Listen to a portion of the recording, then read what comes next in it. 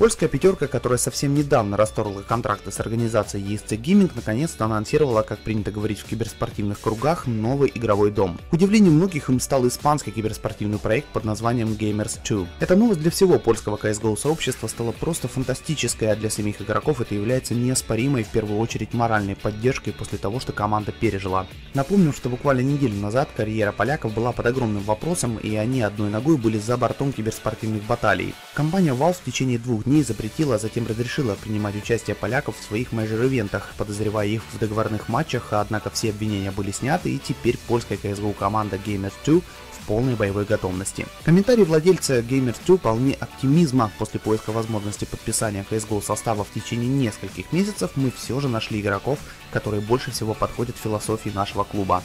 Что ж, стоит игрокам и организации Gamers 2 пожелать больших сил и удачи в этом нелегком деле под названием киберспорт.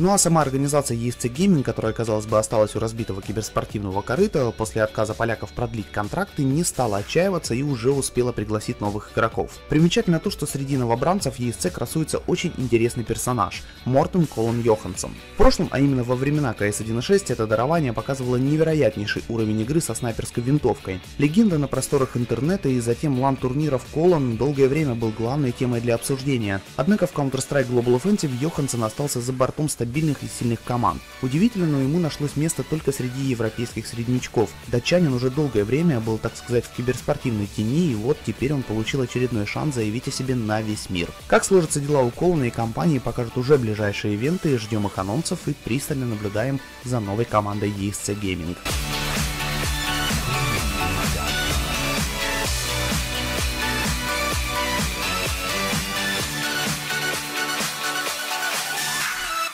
Steam Greenlight – система, введенная в Steam некоторое время назад. В ней пользователи могут голосовать за новые игры, отсутствующие в магазине, и таким образом помогать им попасть на одну из главных игровых платформ на ПК. Компания Valve обратилась к разработчикам с просьбой не раздавать ключи к своим играм в обмен на голоса в Steam Greenlight. Как говорится в официальном сообщении, такая практика ставит владельцев магазина в крайне неудобное положение, так как в результате количество голосов не всегда отражает реальный пользовательский интерес.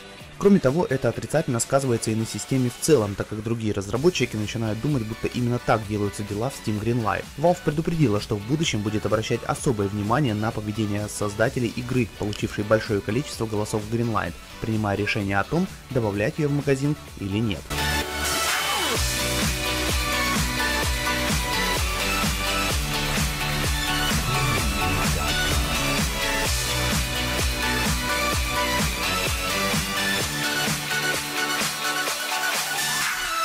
Директор по маркетингу GSC Game World Валентин Елдышев заявил, что в компании намерены бороться с подражателями, которые хотят использовать торговую марку Stalker для раскрутки собственных игр. В первую очередь речь идет о West Games, фирме, которая в прошлом году пыталась собирать деньги на шутер от авторов Stalker Ariel, а затем после бана на Kickstarter начали кампанию по сбору средств на другой шутер Stalker Apocalypse на неизвестной платформе YFunder. По словам Валентина, некоторые сотрудники West Games действительно работали в GSC некоторое время, их наняли для создания браузерной игры игры по мотивам Stalker, которую затем отменили из-за низкого качества. Валентин считает, что у West Games нет команды, способной создать хоть что-то в половину такое же крутое, как их шутер, а все, что они хотят на самом деле, это просто выманить деньги у фанатов торговой марки. Также он предупредил, что в GSC не допустят выпуска чужого проекта под именем Stalker.